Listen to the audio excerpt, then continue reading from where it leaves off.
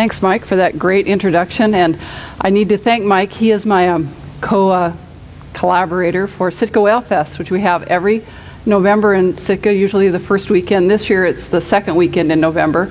And Mike helps me uh, select the speakers. Um, for years, oh, for a couple years when we first started Whale Fest, 15 years ago, it's just hard to imagine that Walt Cunningham, a pinniped a, a technician for Fish and Game, helped me pick the, the, the people to come to talk on pinnipeds or the seals and sea lions, and I selected the, the whales. And, and Walt unfortunately died in a tragic diving accident. And that year, Mike came, and then he's carried the torch ever since. And so I'm very, very grateful for Mike. And not only for his, uh, his expertise for the researchers that do um, pinniped research, but also for just bringing the two campuses together. Between UAF and UAS, it's really a nice cross pollination of having um, the interaction and, and, having it in Sitka every November. So if you're interested, it's uh, sitkawhalefest.org on the website. So, but tonight I'm going to talk to you about my 30 years of um, studying humpback whales. So it's going to be um, how I started, kind of the middle years, and then what I'm doing now and, and today with more collaborators and, and more tools. So I did have lots of support, lots of collaborators, and this is my husband, John. Um, you might know him from his books. He's written six um, mystery novels, crime novels, um, set in Alaska and he's wrecked my skiff two or three times in these books. And what I have given him is a lot of details, a lot of adventures for his novels. And so many of the uh, adventures that he, he has, a fic- uh, you might think are fiction, are actually truth, and then some that might be truthful, he has stretched it into fiction. So this is a, my contribution to him. He first started with me um, going to Admiralty Island, which is the island just south of Juneau and north of Petersburg, to a place called Seymour Canal, and that's where I first started this research. And the other people that helped this was um, K.J. Metcalf was the Admiralty Island National Monument in 19 those late 70s and early 80s. Um, Admiralty Island had just become a national monument, and K.J. Metcalf was the uh, first monument manager, and he was very forward thinking, and he led us look at humpback whales, why we should have been doing something else for the Forest Service, not because for, the Forest Service has no jurisdiction over humpback whales. But they happened to be in the canal, and there we were. So um, Kathy Hazard was a student, or she worked with Charles Jurasz, and he was a high school biology teacher out of Juneau that pioneered some of this early research. Jim and Carol Greeno are people that helped us forge our way in those early days, and Dr. Bud Fay was my advisor here at UAF, and he, he had never seen a humpback, and he supported me. And he, when I applied to graduate school, he was the only person that would accept me with my own data set. And so I'm very, very grateful to Bud. And Jen Cedarleaf is my right hand assistant in Sitka. She manages all the data and knows all the whales because I, I don't anymore, actually. She manages the entire collaborative database between Glacier Bay National Park, and that's where Chris Gabriele and Janet Neilson work. And, and we have um, developed this comprehensive way of looking at whales in southeastern Alaska. And the Park Service biologist and my um, staff and biologists, we all use the same techniques and the same database. And Scott Baker, Terry Quinn, and John Moran are other partners that I've worked with. And um, a lot of students and Sheldon Jackson High School, which is no lo- or college, which is no longer in business, but I had students from um, Sheldon Jackson, Bates College, Humboldt High School, both high schools in Sitka, just a numerous people. I can't. I just want to spend time on this because they have helped so much develop this program over 30 years. So 30 years. I'm going to talk about the beginning how humpbacks entered my life, and some basic facts about humpbacks. I know you're, we're here in Fairbanks, and when I came to school here in biological oceanography, it's going, going whoa, there's no ocean. Well, as everybody told me, every ocean in Alaska is equidistant from Fairbanks, which is true. And so, um, and even now we have humpbacks up in the Arctic, and so you can find humpbacks equidistantly from anywhere in Fairbanks. So I'm going to talk about the middle years, the data, collect, the data collection, how um, I work with my collaborators, and then the current research. Again, working with a lot of collaborators, some very new, up-to-date, cutting-edge tools, and what is the future for humpbacks in Alaskan waters. So here are the geese. These are the animals or the birds that led me to studying humpbacks. And you think it's a little unusual. Why? What is this connection? This makes no sense. Well, in uh, the late 70s, I was working for the Forest Service, and they sent me out to do a study, work with a, a team of people in this area called Seymour Canal, and we were looking at geese and what their brood rearing habits during the summer. And they're non-migratory, meaning they don't go anywhere during the uh, uh, winter months. But nobody knew where they spent the winters. And so we had radio collared some, and I talked KJ Metcalf, that great forward thinker, into letting John and Jan go to the cabin for the whole winter. And John was game for this. He was a real trooper. So um, we loaded all of our stuff at the float plane dock, took a float plane out to Seymour Canal. They dropped us off. There's our skiff in the corner with all of our stuff in this little ratty cabin. And we turned around, and the place literally looked like a sprinkler system had broken. It was just humpback whale blows everywhere. There must have been 80 to 100 humpback whales within a three mile radius of the cabin. And we go, wow, that's really cool. We didn't have, you know, by then, that was really the early, early stages of people doing humpback whale research. And I knew there were people doing it in Hawaii, but I said, wow, I've got a gold mine. All these whales aren't migrating. I'm going to be famous. And so, so there, this is what it looks like in Seymour. There's groups of four, five, six, ten whales just zooming around Seymour Canal. And um, just here's more whales. Just this is right in front of our cabin site. It was a terrible anchorage. We flipped the skiff. These taku winds would come down, and we'd wake up in the morning, and the skiff would be turned over. And the, we used two-stroke outboards then, and they were totally. It was so cold, everything was frozen. But the cool thing is that with a two-stroke, you can take the cowling off, pull out the the um, spark plugs, and a core of ice comes out with it, and then you rinse it out and you can start them up again. we did that a lot. So, so and there John is diligently listening for those geese. He's, we, we did it. We were religious about doing it. Besides looking at humpbacks by then, but um, we really tried hard. And there John is. Um, if you've ever been in Sitka, there's a. We didn't have a um, Raven radio. We didn't have an FM radio station. Then we had we had an AM radio station, KFW, and Everybody listened to Problem Corner. And what John was really doing here was perfecting his Problem Corner voice. So he bought and sold a lot of equipment listening for those geese. There are, there's a cabin that we stayed in, and there's me, a much, much younger um, whale biologist, fledgling whale biologist, and it was really a nice time for us. We ended up spending a number of winters here and then going back off and on over the last uh, 30 years. And you will never catch me in weather like this now. This was this was, we were young. We were we were I was we're going out no matter what the weather is. Of course, a camera would get wet and photos would be terrible, but I was still out there doing the research. So um, so on to humpback whales. Who are they? They are a baleen whale. They have a worldwide distribution, and they have the longest known mammalian migration, 98 kilometers from Brazil to Madagascar. And that was just recent in the last year. They feed in high latitudes in both hemispheres and give birth in the tropicals or near tropical waters. Uh, gestation is about 11 months. They become pregnant on the breeding grounds and then give birth either en route or on the breeding grounds about a year later. And they give birth every two to three years. Some females can give birth annually, but um, on average it's two to three years. They're about 15 feet at birth. They weigh about 1,500 pounds. And females, as in all baleen whales, are larger than the males the longest uh, whale eh, known in the southern hemisphere, whales are bigger than the northern hemisphere for some reason, and 56 feet was the largest female. And they weighed about 90,000 uh, pounds. And um, their lifespan, we thought was about 50 years, and now I'm going to talk about this and um, why we think now it's 100 or years or more. And their vocalizations are very, very complex. They're the whales that you hear about when you go to Maui that are singing, the males are singing the songs, and they still really don't know why humpback whales sing. And I don't study that part of uh, the humpback whale biological aspects, so I'm not going to talk a lot about it. But, I, but I'm willing to ask questions, and I can speculate like the best person or the best researcher. Humpback whales have a very long flipper. These are the um, they're a third of their body length. And so if you're out in the ocean and you're not quite sure what whale you see, really try to get a look at their flippers because if it's a long, long flipper, usually with white on one surface, it's a humpback. They also have these nodules on um, upper and lower rostrum.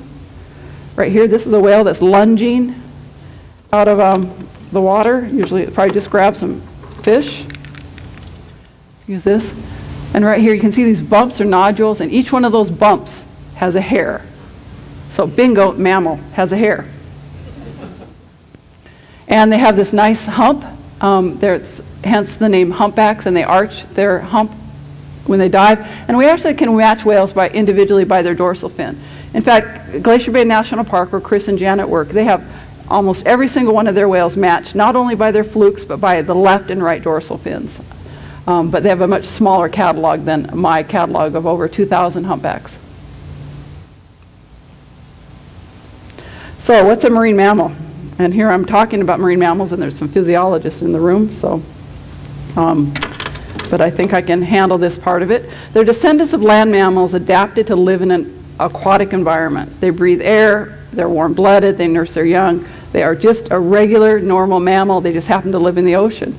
And they have adaptations, adaptations that include, they have increased insulation. They're either in terms of blubber like the cetaceans or dense fur like a sea otter. And they've made circulatory adjustments to minimize heat loss. They can shut down their extremities to save on heat loss when they're in cold water. And they have modified limbs, noses, and ears and eyes to live in the water. And they have an increased sensory ability. And some have an acute sense of smell. They've just figured out that bowheads actually can smell, or they're, they're pretty certain that they can smell. And they're capable of, of very long, deep dives. Humpbacks don't dive as deep as a sperm whale, but they can still dive pretty deep. And humpback whales have a paired blowhole. Basically, they have a split nostril just like we do, and they close it when they dive. And this is, this is the same whale. You can see that piece of kelp is, is the same in each photo. And so this is a whale when it's just at the surface breathing, and then right there it's got its blowhole shut. And again, those are those nodules with, remember, one single hair through each of those, on each of those nodules. And there the blowhole is up close and center. And they have diving adaptations. Their ribs are flexible, they can collapse when they dive. And this is a whale diving, and this is what this whale is doing. This is right in the front of Sitka Sound. This is an echo sounder. This is some of the tools that we use to tell what they're feeding on.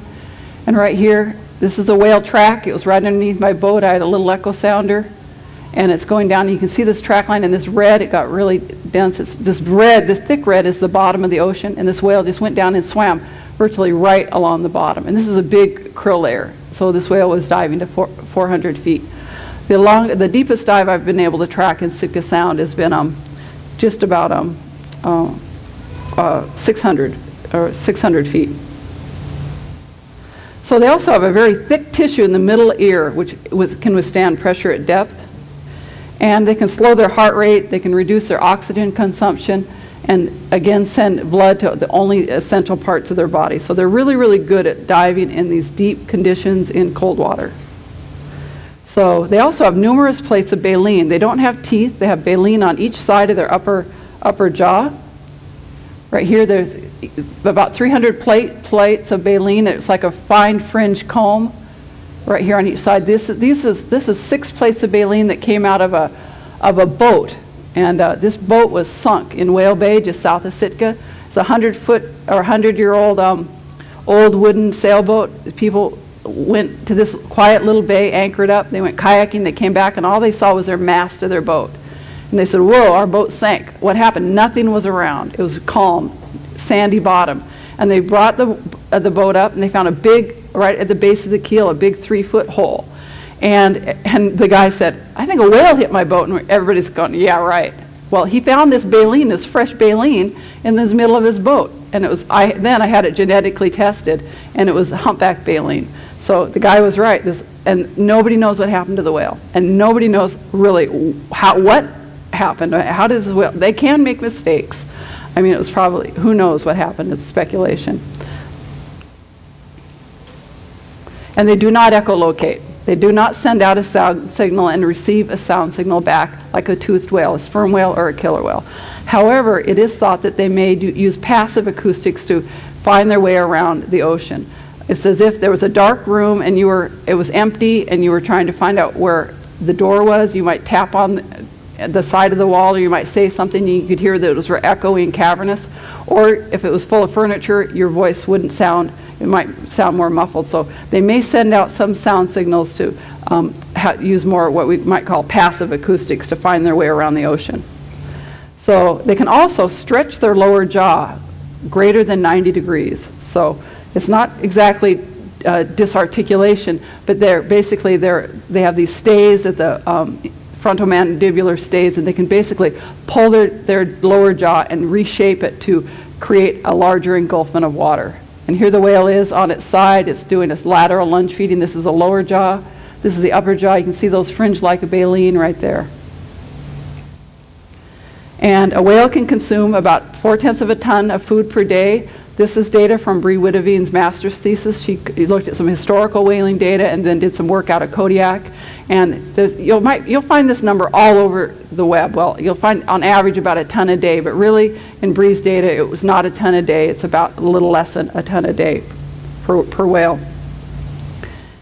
And they can engulf 15,000 gallons of seawater and prey. And this is a lot of volume of seawater and prey, and it's, it's more than most people can imagine because they have these ventral grooves that expand, that create an, an extension like a big water balloon, and then again they can re reshape that lower jaw. And um, there's some people that were uh, kind of doubting that this was really happening. So, and this is John Moran at Auke Bay Lab, who I work with a lot. He's going, that can't be true. And he did the, he did the math. He said, well, the math comes out right, but I still don't believe it. And so, this is this is what a graduate student is good for. Susie Teerlink, our graduate student that's working on humpback whale data in Prince William Sound, she got to stand next to this big um, 10,000 gallon fuel tank at the Lena Point facility, NOAA's Lena Point facility in uh, Juneau. And, um, and we compared that with this big bloated humpback that was uh, found, that washed ashore in southeastern Alaska on Cube Cove. And John measured both um, uh, volumes and they came out about the same. So he uh, finally, I think, believed that this is true, that a whale truly can engulf 15,000 gallons of seawater. They don't consume it, they don't swallow it, they sieve it out through their baleen. And so what do they eat? Well, their esophagus and their throat really isn't very big. It's only about the big size of a big grapefruit. And so the, the largest uh, prey that I've been able to find in the whaling literature has been pink salmon. And I never knew if that was pink salmon adults or pink salmon juveniles or smolts or fry. Um, but we had a whale um, in Sitka feeding on, uh, that was documented feeding on adult pink salmon. So, and they, and they don't get, sometimes they're only a, a two or three pounds. So I'm pretty certain that whale the whale, the data in the whaling literature probably was uh, pink, adult pink salmon, but really they feed on herring, schooling fish, forage fish, capelin, um, sand lance, all those uh, important forage fish that we have that are like the linchpin of our ecosystems. And they are generalists. They really capitalize on whatever's out there. And they also feed on krill, zooplankton, which is a small um, shrimp-like um, um it's a, just like a very, very small shrimp, and it's, it, it's in uh, swarms in the ocean at, in southeastern Alaska, and especially in Frederick Sound. You often see surface swarms where you can just go and scoop it up at the surface.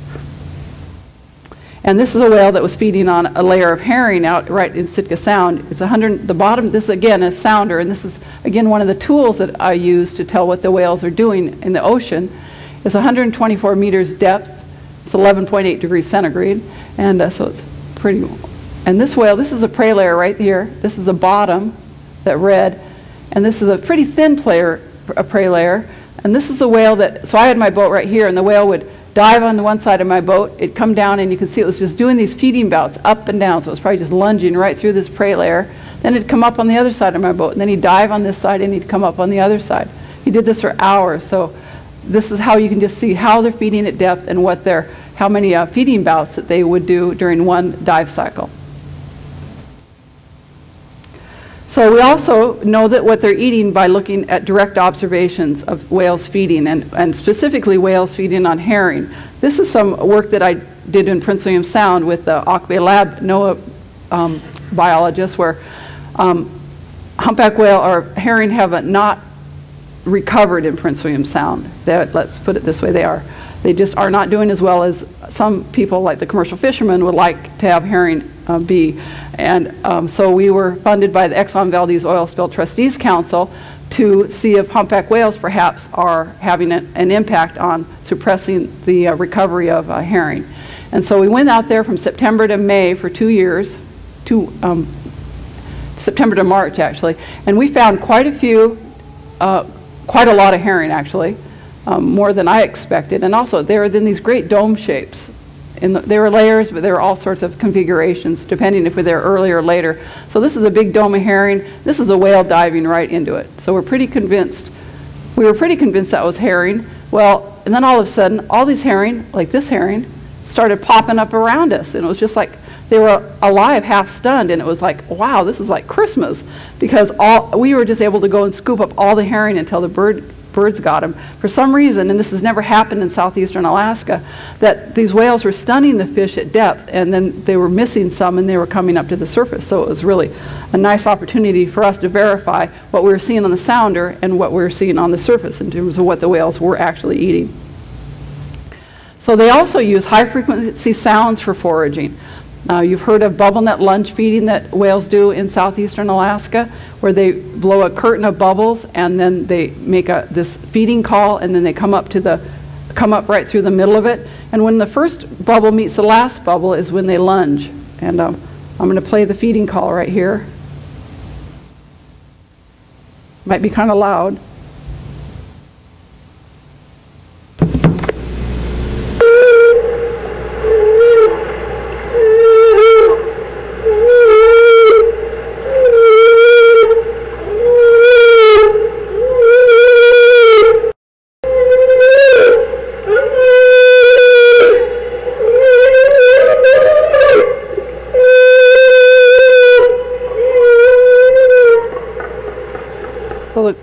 About this. So that's the ring of bubbles right there. This is a, a, a painting actually, or a drawing. And this is it's one whale that makes these bubbles. And this is Fred Sharpe's PhD dissertation. He, he, he showed some of this, documented that it's one whale that blows the, the ring of bubbles. And when there's a large group of humpbacks like this, that, that uh, diameter of that circle can be almost 100 feet in diameter. And the bubbles are about cantaloupe size. And so they time it quite well. When one when that feeding call ends, the first bubble has met the last bubble, and then they come lunging like this. And this was a group of almost 30 humpbacks that were lunging together in the southern end of, uh, of the archipelago, just north of the Canadian uh, border um, and, and Forster Island. And so it's pretty spectacular to see this. And they've only been shown, they only, as far as I know, do the lunge feeding, the feeding call, which is, is thought that it's to use to stun or to, to manipulate the herring. It's, Fred was, it's not totally proven positive, but it's pretty certain that it's most likely used to um, maneuver those herring upwards into the surface, right to the surface, and the whales come underneath and lunge with their mouths open right through it, like these two whales here. And you can see this, the, how dense the herring are right here. They're just boiling at the surface right here. And there's a whale that, again, this is the upper jaw and the lower jaw, upper jaw and the lower jaw. So, and this is actually seen bubble net lunge feeding. When people come up to southeastern Alaska because they've seen it so much on TV, they're often really, really disappointed that, that all they see is what really from a cruise ship or a tour boat is what really looks like a floating chocolate chip on the ocean. You see it floating around, then it disappears, and it comes up eight or nine, ten minutes later, and it floats around again and then shows its flukes and dives. So um, someday I would really like to do the documentary that shows what it's really like to be a whale biologist and what it's really like to study humpback whales because it's a lot of slow time in the boat. Just looking at your watch, they're there. Because all typically the dive pattern is they show their flukes, they dive at depth, and then they come up, and you really don't know what they're doing. It's a, it's a lucky chance that you really get to see this type of behavior. This is another feeding behavior that humpbacks do, and it's called echelon feeding. It's like drafting when you're a bicycle racing. One whale basically drafts the other whale, and they're feeding usually. Uh, sometimes it's on small forage fish, but usually this is almost exclusively on, on krill or zooplankton that's at the surface. So, in terms of understanding exactly what they're feeding on, if you see the feeding behavior and if you can look at the prey depth on a sounder and get some idea of connecting those two, you can without even sampling or having a net to sample, you can often make a good judgment call as to what they're feeding. And also, if you know what, if you know enough about oceanography and what the, the potential prey could be in the area and what that prey should be in terms of seasonal distribution too. Because herring in the winter lay down in a nice layer and the whales are feeding on them just as if they would be feeding on a layer of krill during the summer. But in the summertime, those herring are, ball, are schooled up in balls and the whales have to chase them all over the place. So if you see a whale in the summertime going up and down in one spot and you know it's a, predominantly an area where krill have been sampled there in the past, or you know it's, it's typically a krill area, you can pretty much say they're probably feeding on krill, like in the middle of Frederick Sound. But if, there's, if they're following something along the shoreline and their behavior is very, very erratic, you can probably say it's some type of fish. And this is the uh, boat I use. It's a 23-foot Ponga. Um, we actually have a larger boat now that um, my husband John and our son will go out. We'll go out for sometimes a couple weeks, and we'll be on the big boat and we'll tow the, the skiff. I have taken this skiff around around Admiralty Island a number of times, and um, the last trip I got really, really soaking wet and ruined a camera, so I just said, "That's it. We're getting a bigger boat." So, like I, I would never be caught in the snowstorm like I was in Seymour Canal either. And um, the technique that we started using was using photo ID, just having a simple digital or simple um, film camera, and we started actually with slides and taking photographs of the underside of the tails. And my early photographs were really, really terrible. Um, and this is actually a whale coming towards us, and the white underneath is, is the side we're really looking for is the, um, is the uh, ventral surface of the flukes. The dorsal surface will work, but it's really that black and white pattern that we're looking for like this. So this is a part of our catalog, and this is the poster is on the is in the catalog as well. And if you get a photograph of a humpback whale, and for southeastern in southeastern Alaska, we have almost over 2,000 whales in this catalog, from 100% white. is categorized from in sections from white to dark, and uh, you can go in and try to match your, your whale. And I should say that um, people have developed matching programs. There's a number of very good ones out there on the market. Um, however, for our whales, because we have almost 70% uh, whales that have no white on them at all, it really doesn't work to use a pattern recognition. People say, you know, this Mac, my Mac has a program that'll recognize faces. As well, it doesn't recognize a face with every face. It's just the same flat black. And you really have to use, look at the trailing edge to really match individual whales. And it's quite an art. Some people are very, very good at it, and some people it takes them a long time to really catch on to um, really matching. It's like playing the game on concentration. It's just, it's uh, an acquired skill. And reproduction, the females give birth on, or get, become mature at four to five years. So they're sexually mature at four to five years. And as I said, um, they give birth on average every two to three years. So, but they don't have a, when they don't show up in southeastern Alaska until they're eight years old with their first calf. So age at first birth is not until eight years old. And we know this because we were able to photograph with this long-term sighting histories, taking photographs.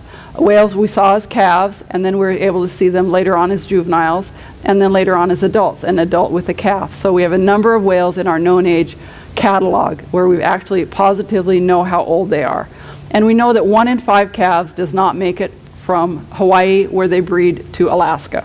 And we did this by going collaborating with our researchers in Hawaii, and they showed it. They gave us all the photographs. They had uh, females that had calves in a certain year, and then we looked in our catalogs for that same whale in the feeding area in southeastern Alaska, and we found that one in five calves didn't make it, which is actually a pretty high mortality rate. How old do they get? Well, this is a whale. Uh, this is a whale called Big Mama. She was one of the leaders of the of a, the Chatham Strait lunge feeding group for years and years and years. Chuck Jurasz first photographed her in the late 60s. She looked exactly the same when she was last seen. At the, I think about the age, at least minimum age of 35. In um, I think I saw her last in the 90s sometime, and um, so we can figure out how old they are by photographing them from the time they're calves and to the time they are um, adults. Or if you can find a fresh dead whale, you can get the earplug. And humpbacks have a very nice um, earplug that can be sliced and the growth layer groups can be counted just like a tree can, uh, tree rings can be counted to age these whales. Well, um, the whaling biologists knew how to do this and they were very, very good at this. And they used um, two growth layer groups per year as their basis of unit of measurement to say how old the whale was. And so the oldest whale in the whaling literature for humpbacks was, uh, I think, 48 years old in the southern hemisphere. Well, in uh, the year 2001, this whale, whale 68, was uh, struck by a cruise ship at the mouth of Glacier Bay. And the whale was very, very fresh. When it was uh, stranded and they were able to get the earplug. You have to get really quickly to the earplug, otherwise it just disintegrates because it's made out of a waxy material. And so Chris Gabriele, who um, got the earplug with Frances Gulland, a, a, a marine mammal a veterinarian out of California, uh, she actually got it. She was just great at getting things like this out of dead whales. Um, we knew it, it was first seen by Chuck Jurasz and Ginny Palmer in Glacier Bay in 1975 and last seen in 2001. So we knew at a minimum she was uh, 27 years old, if it was at a minimum, if she was a calf when that when it was first sighted in 75. Chuck and Ginny say they probably she wasn't a calf, but we don't know that for, for certain. So we had, um, Chris had uh, two, she found amazingly, there are still people out there that that know how to age these whales. And Christina Lockyer out of Norway and, and Kato san out of uh, Japan did independent counts. And you can see how difficult it is here counting these ear, earring or uh, growth layer groups. Uh, over here, when the whale was younger, they're quite spaced apart. And as the whale gets older, they get tighter and tighter because it's a, it's a um, finite space in there. It's, it's an enclosed space. And so as they get older, it gets really, really harder and harder to age each whale. And same thing here with these red dots. I drew a line here, but you can see they're spaced out. The red's a little bit harder to see. But they did this over and over, and Chris carted this, this earplug around all the marine mammal conferences with a dissecting scope for years and got them to do repeat counts. And um, they came out to be fairly similar to 44 and 40, um, 44 and 45 growth layer groups. So so if the whale was at a minimum it was had been seen for 27 years, if we were going by the the um, two growth layer groups a year, or two um. It, uh, yeah, let me get this, the math right. If they were going to be um, I think it was yeah two growth layer groups for anyway. It was, it's, I'm losing my uh, math here. If it was going by the whaling data, it was going to be 56 years old but at a minimum. But they didn't get anything older than 45 or 44 growth layer groups, which, which mean if it was one layer growth layer group per year, it would be um, just 44 or 45. And even with the statistical variance, it um, couldn't have been as old as the whaling data um, techniques were. So, and this is just a one sample size, sample size of, of one, that where we really feel that that humpback whales probably are older than what the whaling data literature is saying, probably twice as old. And this was published in Marine Mammal Science, and you can go and look up this uh, article. And then, and I can read it and remember what the math is. So um, it's, it's, it's one of the, uh, and I make a big deal about it in this talk because, um, and I'm going to talk about this a little bit later, in that humpback whales are increasing in numbers, especially in southeastern Alaska, and we're going to see more and more ship strikes as, and more interactions with human activities. And we're going to have the opportunity, unfortunately, to be able to um, capture some of these whales and really build a database in terms of, of using everything that we can when a whale is found dead, and especially if it's found dead and it's very, very fresh. And I can bring down people like Todd O'Hara and some of the other marine mammal uh, veterinarians to really do a good job at a necropsy, which would be um, something I think we really need to strive for, and, and, it's like my mantra these days. You know, we can't we can't lose that opportunity. Um, and one, because during the whaling, when they the biologists were at the whaling stations or on the whaling ships, they really maximized everything that they um, they got out of those whales. And this is how we have the basis for so much of the information we know today. And even the whales that are, are harvested on the north, in the northern part of uh, Alaska, the bowheads, they really maximize, they get everything. They know so much about those animals because they really have the, have the foresight to really go out and get the data and just not waste the animal. Um, and it's um, just a really important consideration that um, I'm promoting everywhere I go. So in 2004 and 2006, so back to these long-term sighting history data is what we've had to, because we aren't going out and, and harvesting humpbacks anymore.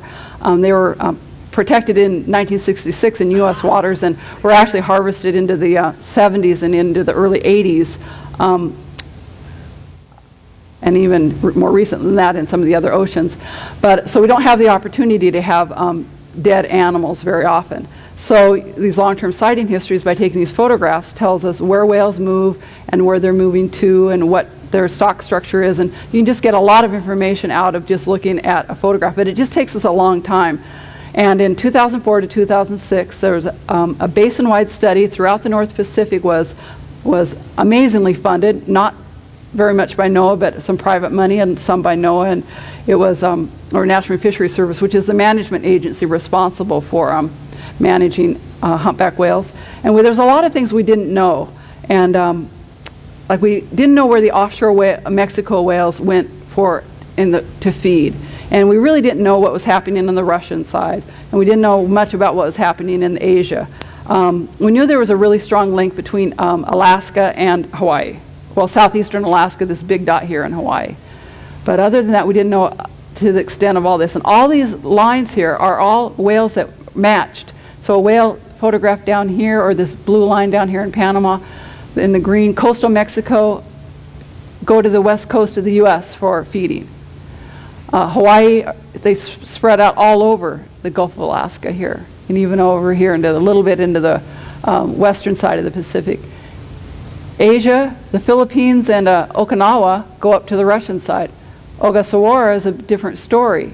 It goes, spreads out over here and mixes over here to the Aleutians. In fact, uh, whales from Ogasawara have been found in Japan, I mean in uh, Kodiak, and also off Vancouver Island. That's not in here. It wasn't. It was found before Splash.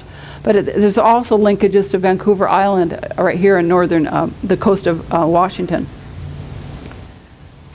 So they migrate seasonally. So they go from these breeding areas and they migrate up to these discrete feeding aggregations. And these discrete feeding aggregations are, are directed by the female. So if you do genetics and look at the mitochondrial DNA, which is associated with, with your mother or the females, you will find a direct um, feeding aggregation where all the whales in southeastern Alaska have the same, same actually two mitochondrial DNA haplotypes, even though they all mix from multiple feeding areas on the Hawaiian uh, wintering grounds. So in terms of their stock structure, it's more complicated than what you might even, even imagine. So southeastern Alaska, if, you if your mom brings you to southeastern Alaska as a calf. You then, when you grow up as an adult, you will come to southeastern Alaska. And if you're a female, you'll bring your calves there. So we call that this maternally directed fidelity to the feeding area. And this SPLASH study, and SPLASH stands, stands for the structure of populations, levels of abundance, and status of humpbacks. It took us a long time to come up with that acronym. So it was the hardest part about the whole study. No, actually, finding funding was, but um, Actually, I think the hardest part was everybody in a room trying to decide to do the same thing. But um, we now know that there are 18 to 20,000 humpbacks in the North Pacific, and they're increasing at 5 to 7 percent a year. They're not increasing evenly across the Pacific. Asia was uh, whaling uh, stopped there more recently than over on the eastern Gulf or eastern side of the Pacific. So the Asian population is slower to recover. There aren't they aren't doing nearly as well as the whales, say, in southeastern Alaska, that are really cranking, I have to say. So here is a the area that we're talking about here, uh, Gulf of Alaska, where I where, where I work, and um, and Prince William Sound. So the work that I've been doing in Prince William Sound with the Bay Lab folks, the splash study just lumped um, the northern Gulf from Kodiak all the way over to Prince William Sound as, as one feeding aggregation. Well, the work that we've been doing in Prince William Sound has, has shown actually something differently. And so even though there was this big study called SPLASH, there's still more to know and more um, studies to, to actually look at some of the finer scale stock structure. So uh, this is actually a repeat here. Um, what I didn't say was in the early 1900s, there were just in the northern, um, not the Asian side, there were, we estimated there were about 6,000 humpbacks just from um, western U.S., um, from Hawaii, um, Mexico, and the, basically our study area from Kodiak West, and you could, Kodiak East. So you can see that the population has done really, really well on our side of the uh, Pacific. So, and in southeastern Alaska and British Columbia, there are, it's the biggest feeding aggregation at about 3,000 to 5,000 humpback whales. And we know because of the genetics and um, because of movement there, the whales that we have in British Columbia are the same population, the same feeding aggregation as the whales in southeastern Alaska, all the way up to, up to Yakutat. And we know that they can get to Hawaii in 30 days. Chris Gabriele was a, a graduate student for the University of Hawaii in the 80s, and I was photographing whales in Sitka in January of, in, of the same year that she photographed a whale that, when I sent her the photograph, she matched that, the whale that it took that whale at, at, a, um, at the um, most um, 36 days to get to Hawaii, from Sitka to Hawaii in January.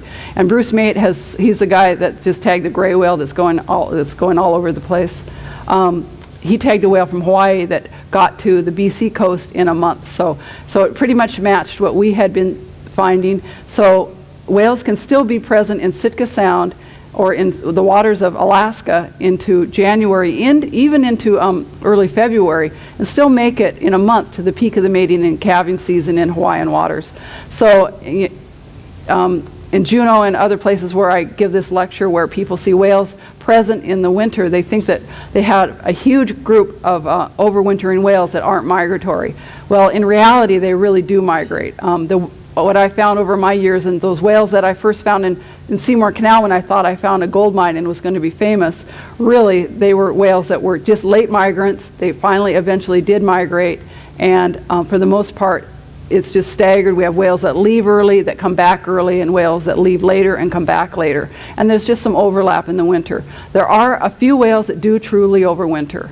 However, um, not very many. I think it's been maybe 15 whales over the entire span of my study, and that includes whales in Prince William Sound and uh, um, southeastern Alaska. So for the most part, there are not that many whales. And why do they miss that migration?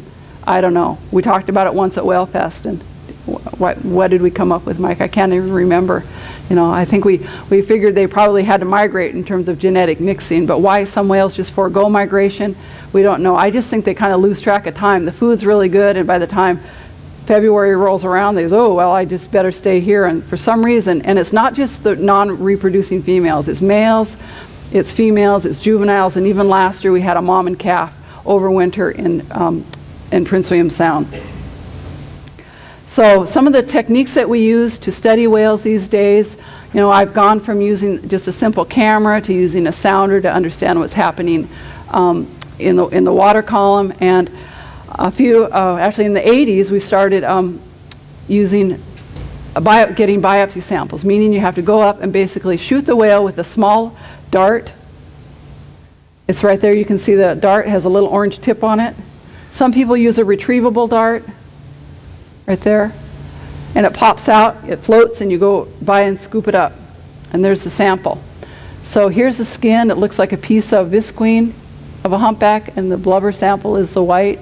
And here's the dart tip. And these are this this style of um, tip was designed by um, there's a lot of different styles out there, but this was a, designed by the killer whale guys in BC, and it has a, a little brush inside that that you force out with this um, tool right there, and it um, is an, it, it, extracts and just pushes out so that this uh, root canal is real sticky and so that's what holds the, the tissue in there and then you just push it out with that extractor and it makes a really nice sample.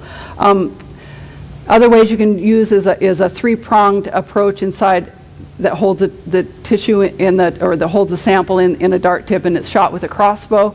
However, we did a lipid analysis with Auke Bay Lab with a nutritional um, um, lab and we looked at the lipid content of the same whale shot at the exactly, exactly the same time between the crossbow tip and the rifle tip, and we lose a lot of lipids with the uh, with the crossbow tip. So we're just pretty much sticking to the uh, biopsy with a this, that's a pneumatic rifle that veterinarians use, and we're even using it for sperm whales, and it's using, working quite well for sperm whales.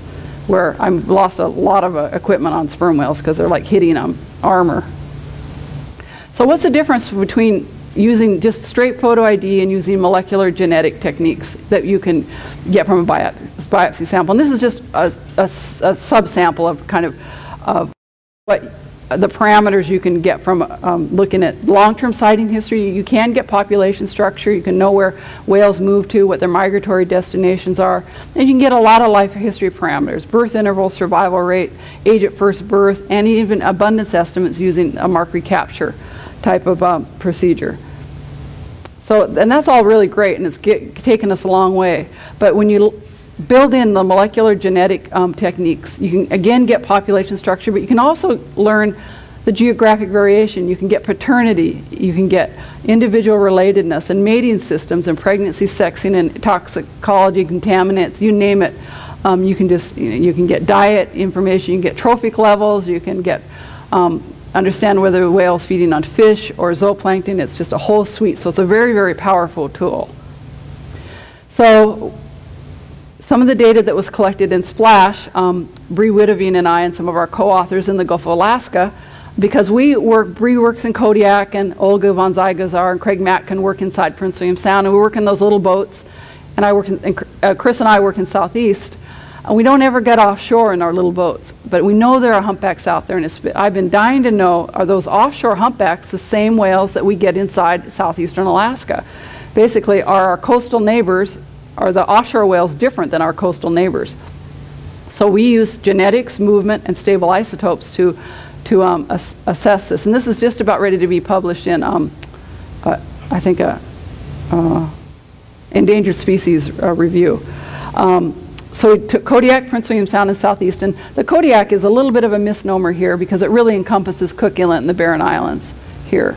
So, and all the blue dots are the whales we considered as offshore. And these were collected by, fortunately, NOAA that has big ships. So they were do, be able to do, during Splash, two years of big ship surveys. And the green dots, and of course there are more of them because you know, we're in these little boats and we can cover a lot of territory, um, are, are inshore whales. And and our um, reviewer criticized, one of the reviewers criticized us in terms of how we define inshore and offshore.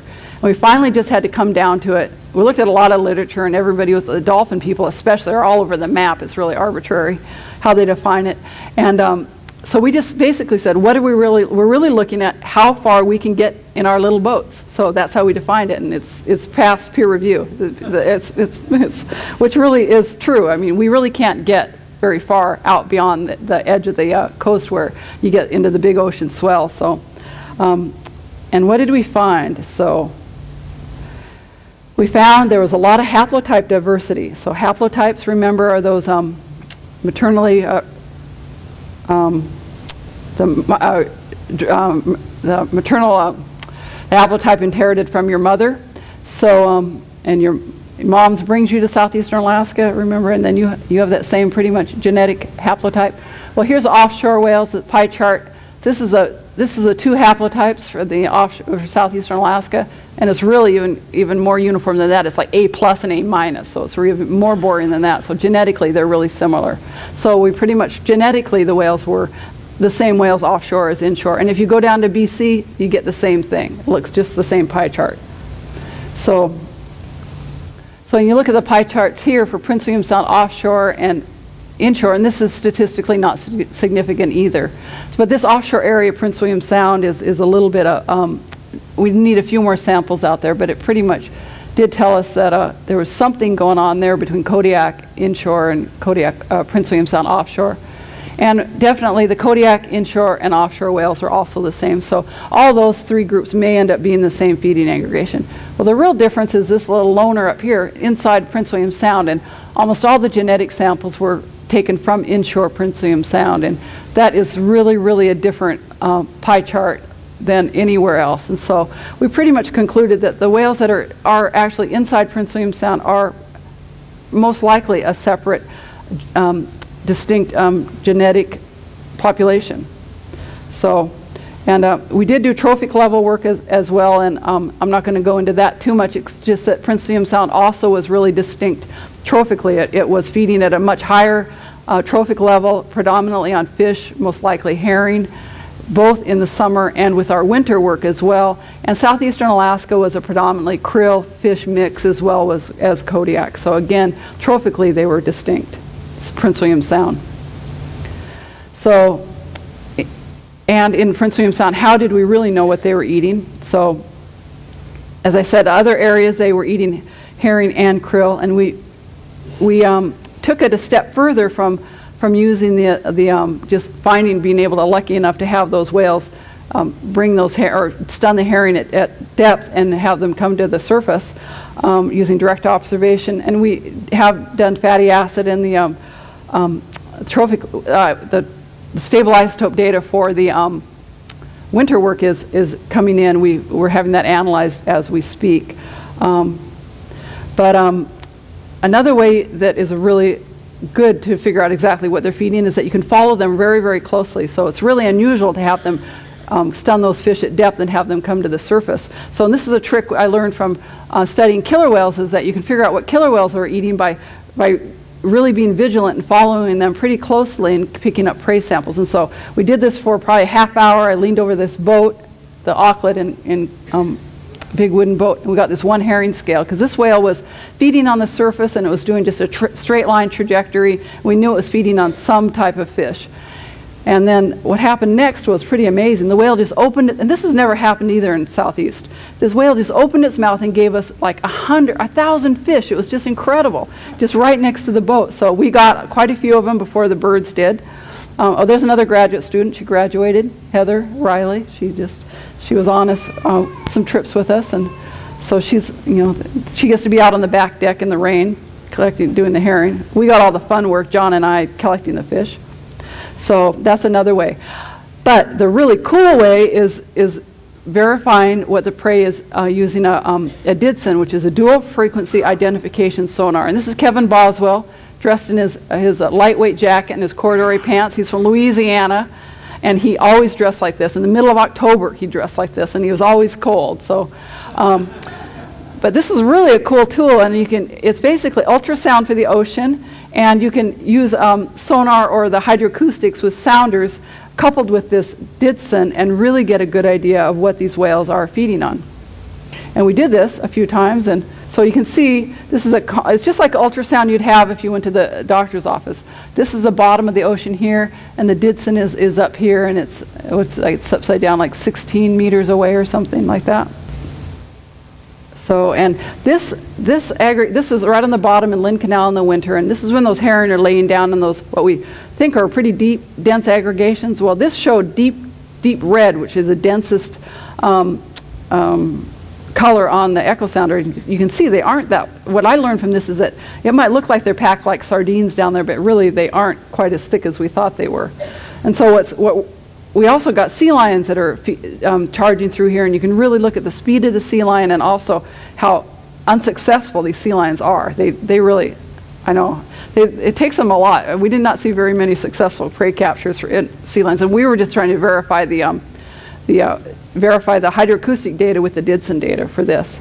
So they were able to measure a humpback, and this is what I really, really want to use the DIDSON for, is because um, those known age whales that we have, we could get it. The age structure of known age whales because you can measure each individual fish and they measured each individual whale. And, and I can't do the math on this because it, you, you can just measure and it pops up right at the little DIDSON machine when you're doing the analysis. And this was developed for um, the Gulf of Mexico because apparently working in the Gulf of Mexico is like working in chocolate milk.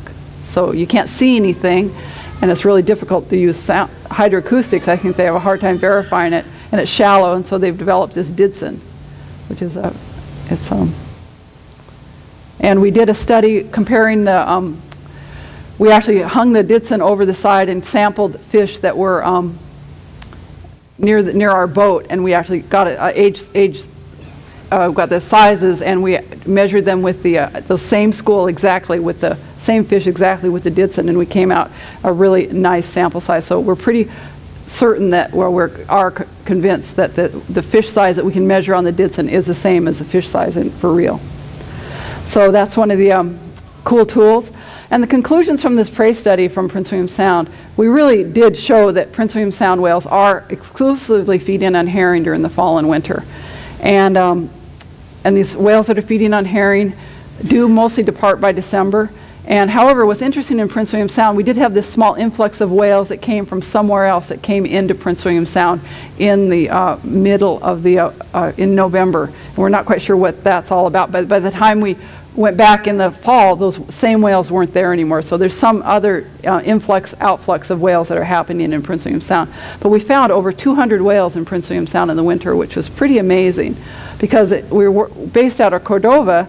And nobody really goes out in, in, Prince William Sound much in the winter, apparently, because you have to cross Hinchinbrook entrance, and they thought we were absolutely crazy. But for coming from southeast, going from Cordova to the east to west side of Prince William Sound is really just like going between Juneau and Petersburg in southeast, so it's not that far in a distance, even though it is similarly rough conditions. And it's, you just have to be careful working in the winter. And I guess I should say when Mike said, you know, everybody wants to work on whales and, you know, I'm really doing it. Well, I'm doing it and I've always started and my real love has always been doing it in the fall and winter. And, and, and that's where people really kind of draw the line, you know. So the Hawaii researchers, you never catch them up here in the wintertime. So, so um, the future of humpbacks.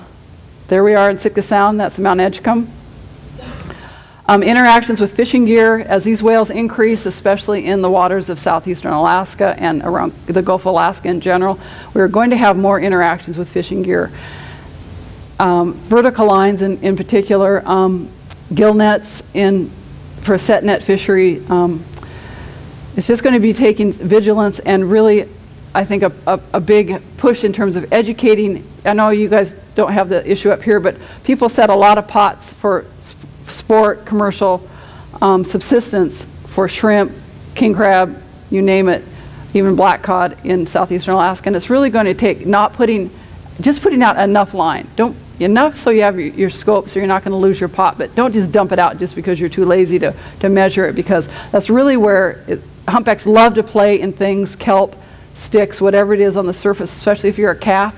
And that's where you're really going to get in trouble. And that's where a lot of whales get um, entangled and get caught. Fortunately, Janet Neilson did her master's thesis funded by Sea Grant um, a few years ago on the scar. She did a scarring study looking at how many whales have scars that were you can confirm that they were caught around their tailstock. And she found that all, over half of those whales actually self-released. So we know that whales can get out of line, but not all of them get out of line. And this right here is a is a whale um, trailing a crab pot. Right there.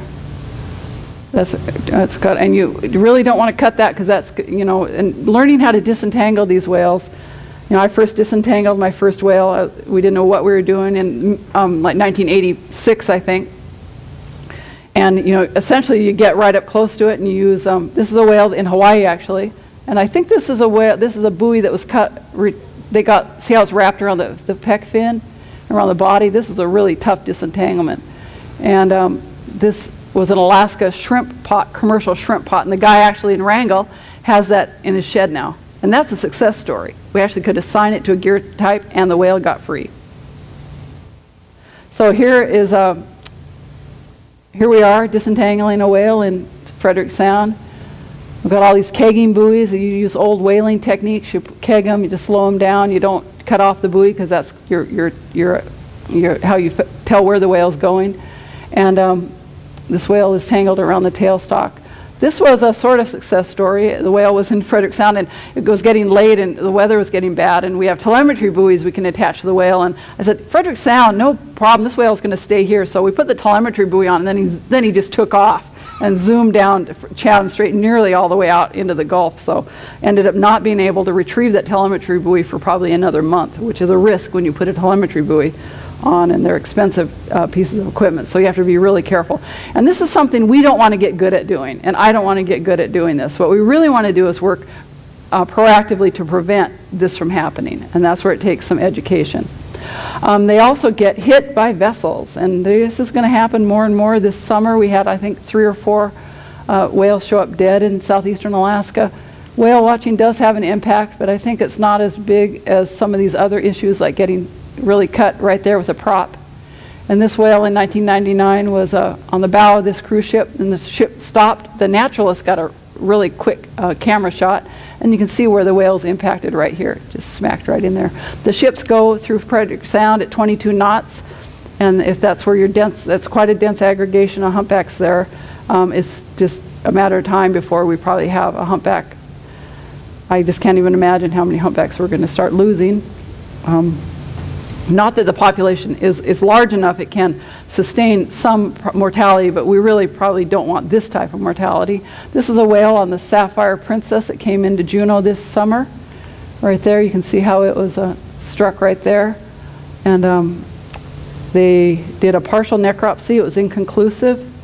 Um, it's actually one of my pet peeves is that if we're going to do a necropsy is that we actually do one all the way and we do it sufficiently where we can actually say what the cause of death was. So, um, and these whales can actually sustain quite a bit of damage. This whale is still reproducing. She's 9, uh, 986, I think. She is still. Um, she really got hit by something hard, and that's all the way down into the muscle layer, and it's healed over. Um, she's still a reproductive female, as is this whale. So um, they can sustain quite a bit of damage. Um, when you're out boating, um, it's just if you see a whale surface, it's usually really likely that there's going to be another whale that's probably not quite up. So it's just taking vigilance and really watching um, what's out there with your eyes and slowing down. I mean, people still don't quite get it in um, southeastern Alaska that that there are whales out there. And although once somebody does hit a whale, and usually it's going to cause, for the most part, a 28-foot boat has struck and killed a juvenile humpback in Glacier Bay. So, but mostly it's the larger ships, and if you go slower, the whale will sustain less damage. But but even a skiff that, that ends up bumping into a whale, it really puts the fear of God into the person driving that boat. It really scares them. And so, um, it's it, because the per, people in the boat, well, for the most part, with the small vessels, um, have uh, more injuries than injuries to the whale. Well, this is what's happening. Oh, so, sorry about that. In um, Chatham Strait. It's actually happening all over in BC and other areas in Alaska, but where we're studying this is in, in Chatham Strait. There's five area, five uh, shore, shore-based sites where smolts, salmon, smolts, and fry are released. Uh, the hatcheries have uh, produced these smolts and fry to enhance the salmon production, and um, lo and behold, humpbacks have figured this out. This is a humpback whale inside a net pen um, the summary that we learned, we just did a really, working with the, the um, industry, the hatcheries have been really great. We used, worked with Hidden Falls and um, uh, NSRA, Northern Southeast Regional Aquaculture, Little Port Walter, which is a, a, a hatchery that NOAA runs, um, and Port Armstrong, which is Armstrong Keta, a really beautiful place near Port um, Alexander. Five release sites, and um, they start showing up about, the whales show up about April 30th. Port Armstrong had a tragedy this, this year. They, they released their chum salmon, didn't have any whales, so that they thought they were home free. And they'd been nursing these beautiful um, two year old uh, king salmon smolts, and they released a whole, every single one of them. And a whale came in and bubble net lunge fed right at that release site all night and got every single one of them. So, so it was just a disaster for this for those that hatchery. Um, so for the five facilities, we were able, all we wanted to say this summer, prove this summer was absolutely whales are eating your fish. And we, we are able to say that. We could show whales are eating your fish. Um, how they're eating them and how the cues are using is a different story. However, at Mist Cove, they didn't, the whales were there and they didn't eat their fish. And we can't quite figure this out, except that Mist Cove is an area where the fish are raised up in the lake and they're piped down and it's a different topography, so we're trying to figure that one out. But Hidden Falls had the biggest problem. Uh, the more fish were released there, and um, it was just huge. And interestingly, there was a the strongest relationship was between with whale sightings and whether or not a release occurred the day before. So it seems to the whale the release might happen, but the whales don't get there right away. They may get there a day later. And also, there might be an acoustic cue that the whale um, presence increased when there was more skiff activity. So it's some of these cues that we need to start teasing out. Um, and we did have a repeat offender. We're fairly convinced it's, it's uh, culturally transmitted between whale to whale, and it's a learned behavior. This whale was in, this is a 2010 this year. It's the same whale that was there in 08 and uh, 07 this is our catalog photograph. So the whale comes back year after year. We're going we're not quite certain if it's the same whales that are that are down at Port Armstrong as the whales that are up Hidden Falls but I wouldn't be surprised. Um, anyway, it's an interesting study. We really the industry really wants to work with us in trying to figure out how to mitigate it, and they're really willing to change their behavior. They've tried things like towing the, the fish out to the middle of Chatham, but they release the fish and they come right back into where they were just um, released. And what the hatcheries have provided is just this perfect storm for a humpback, or actually it's a perfect storm for the hatcheries because they provided barriers. Humpbacks love to feed against barriers, so they have those nice net pens and docks for, for the whales to use to, hurt, to basically trap the fish. They've deposited these nice little rich fat bombs that are predator stupid for a number of days, and so they're just sitting ducks for the whales. And so, so there's it's just it's like a no-brainer that the whales have figured it out. Now it's just trying to outsmart. Them. And um, when I gave the talk in Juneau, this uh, Coast Guard guy that works on gliders came up and he said, "Have you heard about this tone that?" Um, the Japanese and it's used in Asia to herd fish. So basically, they've trained these net pen raised fish to come to when they feed them, it's like a dinner bell. They put this tone in the water, and the fish and the fish come to the tone. And so he was saying, well, maybe you could train the salmon smolts to come to that tone, and then you could just basically, like the Pied Piper, just take them away. So I think it's not as simple as that, but I think it's it's really going to take thinking um, uh, in a different way, just getting your mind wrapped around it in a different way. And it's the same thing with the sperm whale project. I work with longliners that are um, trying to reduce sperm whales that have learned to take fish off their lines. And, and this, again, is working with the fishermen and really coming up with some clever ways to outsmart those sperm whales. But I think that's a challenge because those whales are super smart. If it was a humpback whale around that long line, it'd be like a ball of twine. Those, those sperm whales are amazingly adept at, at just picking a single fish off a line. So I'm going to end with um, why do they breach? And this is Everybody asks me this question, and there's no one reason why they breach. It's like a gesture. You could be rooting your team on to victory, shaking your fist, or you could be madder than a hornet and shaking your fist. Unless you know some context behind it, you really can't assign um, a reason to their breach, breaching them. Uh, when we were in Seymour, we had a really heavily loaded float plane. It took off, and a whale was happened to be right under the, the not. It was about 50 feet, but the whale really didn't like that sound pressure uh, and, it, and, it, just shot out of the water and it lob-tailed and breached for like 20 minutes. So that was a direct cause and effect. And sometimes they do it for fun, they might do it for communication, uh, they might do it for getting rid of parasites. They do breach when it's windy. If it's over 20 or 25 knots, you'll notice they all start breaching into the wind. And why? It's a mystery. So, so one of the uh, things about these humpbacks, they still are out there full of mysteries. Even though I've been doing this 30 years, it's an amazing um, opportunity to still find something new because they're always showing me something new. Um, we have a website, uh, www.alaskahumpbacks.org. This is a collaborative database with Glacier Bay National Park. Um, it's a great collaboration, and for me, um, you know, I'm not about ready to stop doing humpback work, but you know, it's getting to the point where I need to think of leaving a legacy and where is my data going to go in the future, and uh, and where it's going to go is that we're going to work collaboratively to set up this um, common database, and it'll be an online data entry system for future biologists, and it'll be managed by the Park Service. So this, um, and we have a new whale catalog, or whale poster, and it's back there, and it's, it's if it, they have $15. It helps to support whale research. Um, I had one made, oh, and I think we sold them all out in the oh, early 2000, and everybody kept asking me when we were going to make a new one. And of course, I never had enough time to do anything that I'm supposed to be doing. And getting a whale poster together was like the last thing. But I came into my office and I had an intern from Bates College, and she had done the whole thing. She had even gotten the place to get it printed, so we printed it, and we're, we're now back to selling it. She actually did a much nicer job than I ever did. And we have a key this time that actually has some information about each whale. And if you want to know even more information, you can always email us from the website. So and other funding and support, the Park Service, University, TESMARI, the Ted Stevens Marine Research Institute. There's probably not an acronym everybody knows up here, right?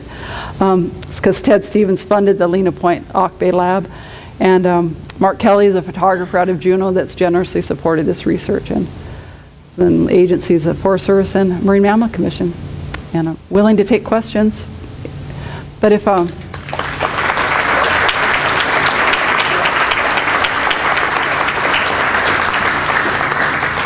And if, if, uh, if people want to get up and leave, I know I've been talking for a long time, so as you probably could tell, I could probably talk on humpbacks forever. So um, people can ask questions or get up and leave or, uh, sure.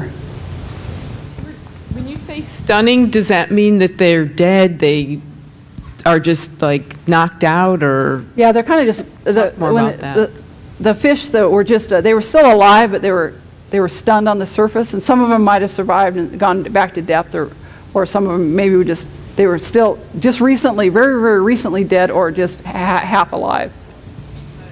They probably just slapped them with their tails. So they'll do that on the surface. Sometimes you'll see a ball of, um, of fish on the surface, and the whale come and just slap their tail and stun them. So, or they, um, boy, humpbacks, they use bubbles in every context. You know, you know, it's just they use bubbles everywhere in all the oceans. They just use them a little bit differently. And um, one of the things that uh, they, they will small they will blow real small bubble nets, but they also will do a thing called flick feeding, and they they will basically be upside down, will have their tail s- straight up, and they'll start slapping the water like this, is flicking their tail until their flukes submerge, and as soon as they submerge, they come forward with a lunge. So what they've created is a forward wave. They're just using physics and ocean movement just to push their food forward, and then they come with a little lunge. So they're pretty clever. So pretty clever with that. And if you um, see one whale doing that, the next day they all will be doing it. So they really learn from each other. They're definitely aware of what ever, all their other buddies are doing in the ocean. So. I had a question too, actually. Where is the data the richest on whales? And then secondly, who has jurisdiction over whales? Uh, let's see, where's the data the richest? Um, really, you might have to narrow it down to a species. Do you mean humpbacks in the U.S.? The Gulf of Maine has an, quite an extensive long-term data data set, but I have to say I think the most. I mean, I think their data has been collected quite. Uh, probably it's compare. It's probably a toss-up between the Gulf of Maine data out of the Center for Coastal Research and the whale da- the data on humpbacks that uh, have been collected at Glacier Bay National Park. The park data has, has been collected since Jurasz started in the uh, early 70s, and then it was picked up by the Park Service in the early 80s or late 70s and early 80s, and it's since 85 they've had a long-term monitoring, and they do a really, really thorough job. And the cool thing about the Park Service data is that, I mean, and I, I worked as a Park Service biologist for um, a number of years, but there have only been three of us that have ever worked on that data set since 1985. So it's been collected very, very consistently.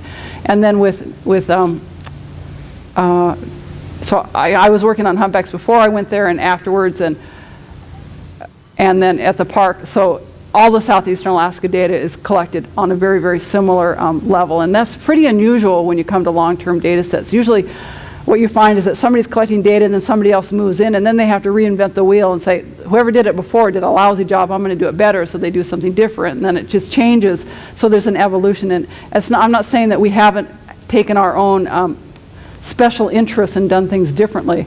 Um, because what we have to do is every once in a while is, is get together and we have like this data powwow and it's like, you know, oh, we said we were going to do it this way, but I'm doing it this way now and you're doing it this way now, and then we have to come to a meeting of the minds. So and those are really always a lot of fun meetings because, but no, it's really good. It's a good group of people to work with, and it's been a really since, you know, I. I didn't stay at the park because, um, for a number of reasons, and it's been a really great collaboration for me with that, having access to, still to have access to that data. And then now at Auke Lab, the, the people there have started this whale uh, predation study, and that's, again, a really nice collaboration for me. So it's really a rich um, place for me to work right now. So, How do uh, whales make their sounds? ooh, you want to, that's a good question. How do humpbacks make their sounds? Well, nobody really knows. It's some manipulation of air inside their uh, heads. You want to go for that? Any, anybody want to venture on that one? But you can watch the animals make noise underwater. No air is coming out of their mouth or out of their noises, out of their noises, out of their noses. So if you were to hold your nose and hold your mouth shut and try to figure out how to make noise inside you without letting air come out of your mouth or nose, it'd be pretty hard. But somehow they figured out how to do it. They can make that noise inside themselves. It's pretty pretty interesting. Yeah, and and and nobody's proof positive how it's happened yet. Yeah. So I, you had a second question, the other gentleman that I didn't answer. Yes, I was curious about jurisdiction. Oh, juris- internationally and within state and federal waters?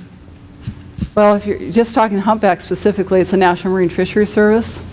So NOAA, you know, they, um, in U.S. waters. Um, Internationally, it's IW, International Whaling Commission. Um, except can, like Canada's not part of the IWC, so uh, it's, it's, and Canada has their own management jurisdiction for humpbacks in their waters. Um, yeah, CITES, yeah, I'm trying to think, I mean, uh, internationally, that's a, that's a good question, but I think it's just probably, I'm just going to go out on a whim and just say it's probably just within the jurisdiction of those, whatever the boundary, country boundaries. So, but, but in terms of outside of the three mile limit, yeah.